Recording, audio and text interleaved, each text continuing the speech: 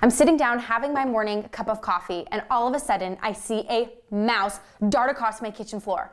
Freaking out, this is not a drill. Thankfully, I have Raymond Vanderloo from Point Pest Control to give us the lowdown on how to get out these creepy crawlers completely out of our house. And has this been a specific problem in Spokane this year compared to any other year? Yeah, you know what? Usually this time of the year we see some rodent pressure. This year it seems to be like there's quite a bit more. And there are a variety of traps from glue boards to traditional snap traps.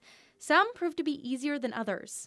So what I typically will bait with is a little tiny bit of peanut butter. And all you do is take a little bit of peanut butter, and just enough to attract them, okay. but not enough to, to feed them. What about if I have a pet or kids that I'm worried about that can get their hands stuck in a trap like this? You want to put these in places that are going to be inaccessible to kids or pets. You could set these traps in maybe like a shoebox, cut a little hole in a shoebox and set oh. the traps oh. in the shoebox. Okay. That kind of plays to the rodent's instinct to want to be covered while they're feeding and it's not attractive to kids or pets. Make sure that if you have a hole cut bigger than the pipe that's mm -hmm. going through that, that that is closed up. And he found one in my house. He used copper to seal it up because mice can't chew through it. Tight enough that mice aren't going to have to not going to pop out of that later. I thought they couldn't get upstairs, but it turns out mice are very athletic. They can jump pretty high compared to their body size.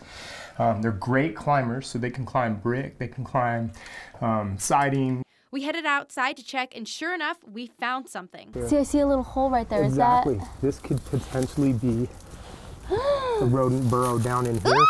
so this is a great application of the steel wool because if a mouse got in here, uh -huh. it's underneath that window sill plate, and then it could get down in the basement. It's not only important to set traps inside your house, but also around the perimeter. And then when you have this bait station in here, if a mouse was coming along the wall, it'd go right in the hole and feed on the bait on the inside. Just, it was a great year for rodents generally. We had a long, hot summer.